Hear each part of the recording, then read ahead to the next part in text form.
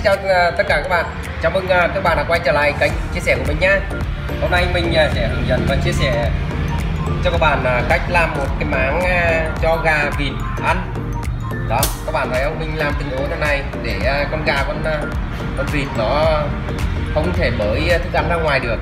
Đó, sạch đi sạch lại được, rất là bền. Đó, mình tận dụng từ lốp xe cũ bỏ đi nhé các bạn.